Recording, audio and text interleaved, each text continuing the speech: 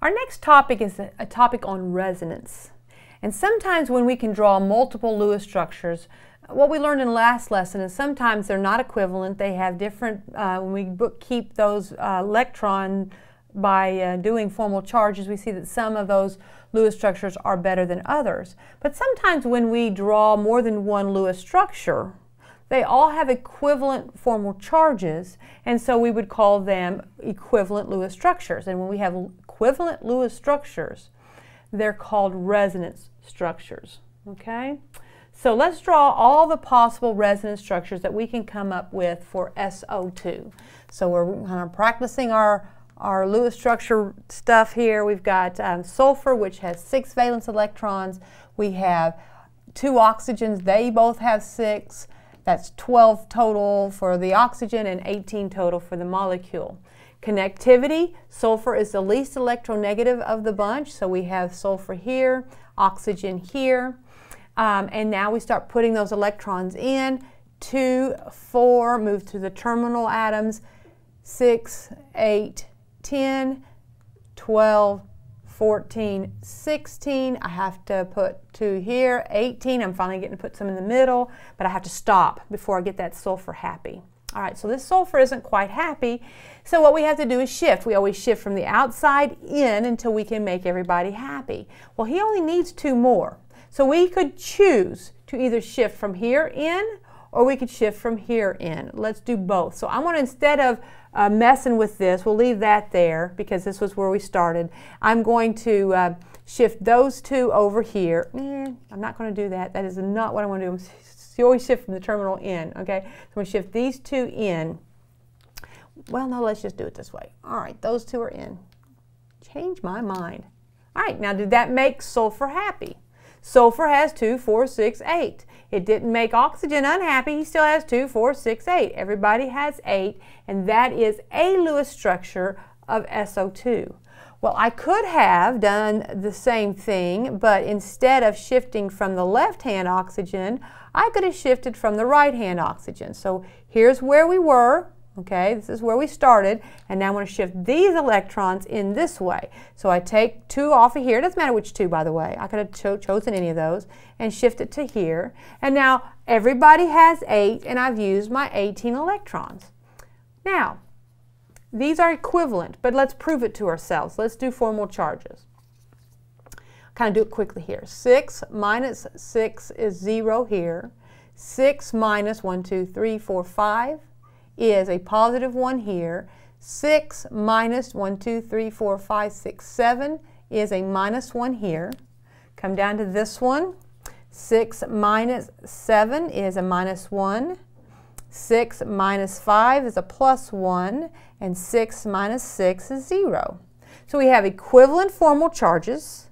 We have the more electronegative uh, atom having the negative formal charge. It's an oxygen in both places. So these are equivalent Lewis structures. So I can't say one is better than the other one. All right, we did that.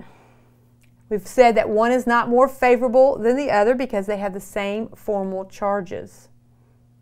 Now what we would say is that these are equivalent. Okay, we can't say one's better, one's worse. They are equivalent.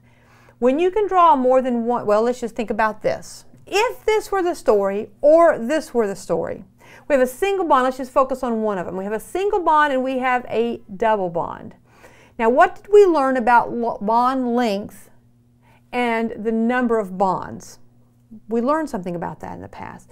You might have to flip through your pages and see about bond length versus um, the number of bonds that we have in order to answer this question, and I encourage you to do so. All right, so stop and pick an answer. All right, so if you had done, if, if this were the story, or if this were the story, see if I have a story. I don't have a star that's going to pop up, so I'll, I'll circle it instead. If one of these were the story, the double bond would be shorter because the more sharing you have, the shorter the bond is going to be, and the single bond would be longer. Um, but this is what they did. When they did a study of this molecule and did an X-ray diffraction study to find out where the nuclei are, what they found was actually these two bonds are exactly the same length. It's not a long one and a short one. They're both exactly the same length. And actually that length is about halfway between what you would expect a sulfur oxygen single bond to be and a sulfur oxygen double bond to be. So it's kind of like it's a bond and a half, one and a half bonds. Okay? So actually both of them are a depiction together of the real molecule. Okay? What we do, and I think what I will do is, um, well, I can, I guess I can squeeze it in here. What we do is we put a double-headed arrow between them. Okay? When we put that double-headed arrow in between them, what we're saying is, these are resonance structures of each other. These two contribute to the reality of the molecule. Neither one of them is a good story by itself of what SO2 is. Because if it were a good story by itself, we'd have a long bond and a short bond. But we don't see that. We see equivalent bonds where they're about the same size. And it's kind of an averaging out. We have a single bond and a double bond here. You average that out, that's like a bond and a half. We have a single bond here and a double bond here. You average that out, it's like a bond and a half. So it's kind of an averaging out of that. So what are resonance structures by definition? Here you have two or more, you could have more, resonance structures uh, for a single molecule that cannot be depicted by only one Lewis structure alone. Now, yeah, you can write only one Lewis structure, but it is not a good depiction of the molecule. It is really an averaging out of all the ones that you can draw. Now, this is just a, um, a picture that our textbook author kind of gave in order to think about this. Think about it in terms of a hybrid dog. Okay, you take these two dogs and you breed them, you're going to get something that's kind of a hybrid of them. I'm not sure this is the best analogy, but it just gives you something to hang on to sulfur dioxide, one story or the other. The real molecule is a, a, joining of those two. It's kind of a bond and a half between the sulfur and oxygen is what the depiction of that molecule is.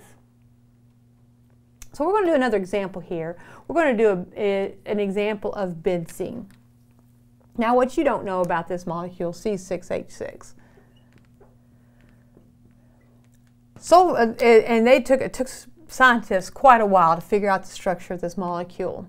Um, but what they found was that the carbon atoms are actually connected to each other in a ring, like this. And each carbon has a hydrogen connected to it. So I'm giving you the connectivity. All right, so there is the connectivity. Then we count up valence electrons. We have six carbons, each has four. That's 24 for that. And hydrogen has uh, one each, so there's six more there. I have 30 to work with. All right. So I start connecting with single bonds. So 2, 4, 6, 8, 10, 12, 14, 16, 18, 20, 22, 24. Keep going. Give everybody 8, 24, 26. I want 26, it doesn't matter. 28, 30. I've made these guys happy, all right? But that doesn't work very well. You know what? I'm going to make it so it's easier for me to do my shifting. I'm going to move these over here. You wouldn't know to do that, but I want to do that. So I've used 30. I've got three carbons that are happy, three carbons that are sad, uh, don't have their eight, so we'll do some shifting. I'm going to take these two guys and shift them over here. Okay, now that carbon is happy, but it made this carbon happy. Okay. I don't want to shift this way because this carbon's already happy, but this one wasn't. So I'm going to take those two and shift them over here. Okay, and I'm going to take these two and not shift them this way because that carbon's, I need to make this carbon happy, and he could do that by shifting over here.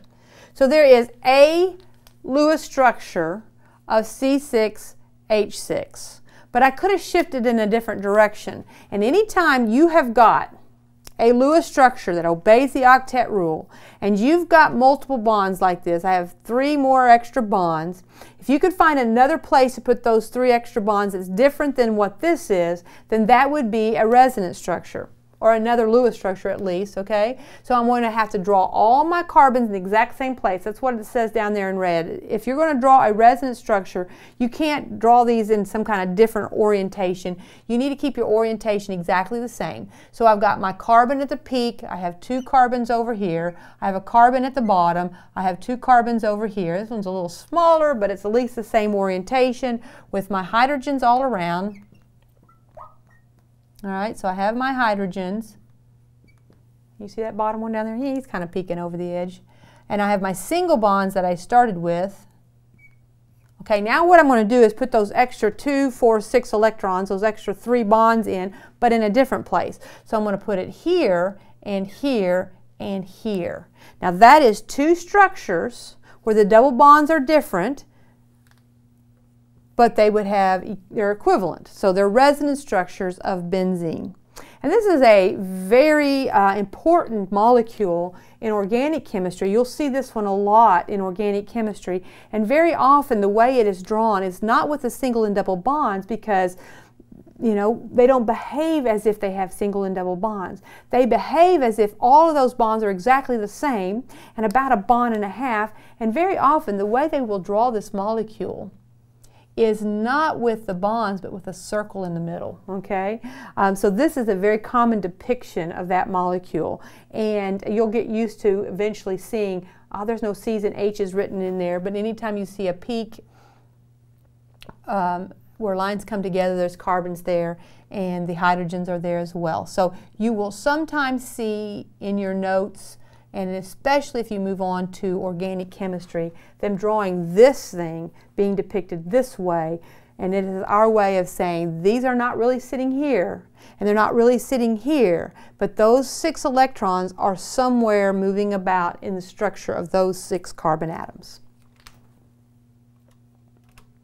All right, so now you're going to try one. How many resonance structures can you draw of NO3 minus? Now, what you see there at the bottom right-hand side of your screen is the one that we have done a couple times. We did it in last lesson. Um, eh, we've done it in a couple lessons, all right? We've had that uh, Lewis structure, but we can draw more than one. So see how many resonance structures you can draw of that.